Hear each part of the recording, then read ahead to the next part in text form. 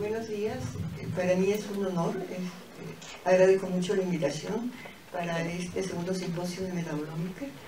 En realidad he estado presente desde el primer simposio y conocer a, Rob y Jan, que nos impulsaron tanto en el estudio de la metabolómica, me, ha servido mucho para poder integrarme con un grupo, un grupo mexicano, ¿no? que realmente a los años ya se ha ido creciendo.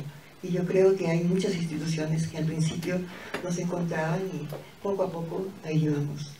Eh, el día de hoy les voy a presentar, eh, yo soy la doctora Ana Carmela Ramos Valdivia, trabajo en el Centro de Investigación y Estudios Avanzados del CIMBESTAR en la unidad de Zacatén. Eh, trabajamos con con aspectos de biosíntesis y también aspectos, como vamos a ver en la conferencia, de metabolismo secundario. Eh, vamos a presentar el día de hoy, eh, las transparencias las tengo en inglés, pero la presentación va a ser en español. Este, sorry, because there are other people, but my slides are in English, but I was speaking Spanish. Eh, la, la ponencia es eh, eh, conectando las metabólicas, las respuestas metabolómicas y la, biosíntesis de alcaloides en plantas de media Valens, en productoras de eh, alcaloides, sobre todo en, en, bajo ilicitación.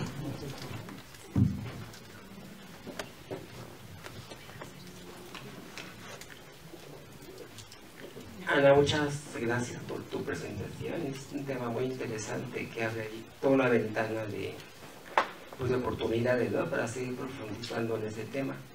Y me llama la atención lo que encontraste en cuanto a, los N-óxidos.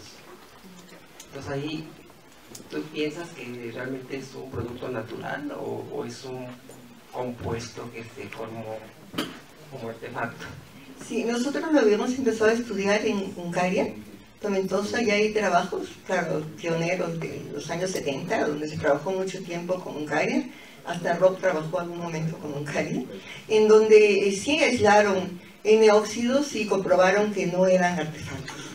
Y nosotros, eh, si bien los hemos como estándares eh, producidos, tenemos N-óxidos de casi todos los alcaloides indólicos y los indólicos actualmente, los estamos estudiando para poder eh, casarlos en, nuestras propuestas, pero sí creemos que tanto en Hungaria como en, como en este caso de, de Amelia están jugando un papel muy importante. Posiblemente hay una posibilidad de que se transformen, se transformen y sea como un almacenaje y para movilidad.